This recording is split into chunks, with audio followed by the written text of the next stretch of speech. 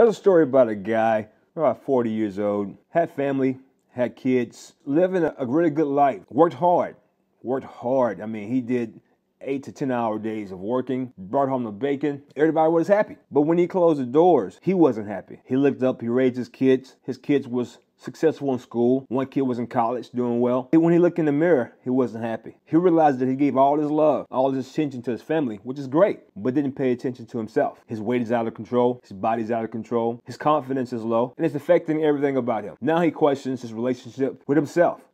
that was me, guys. Now I'm 49 years old and I revamped my life. What I did, I started believing in myself. I started seeing myself, started seeing who I want to be, not who I am in the mirror, but who I want to be at a certain time. So I'm challenging you this year. By March 23, I'm challenging you to change your perspective. Visualize this moment, how you want to look, how you want to feel, how you want to be by March 23. Write it down. I want to have a six pack. I want to lose weight. I want to feel great. I want to be the man that I deserve to be. You can do it. Write it down. Save this video. Also, comment below. Say, I'm down. So by March 2023, I want you to come back to this video and post to me, I did it. That visualization became reality because you started believing it. You can see it, you can achieve it.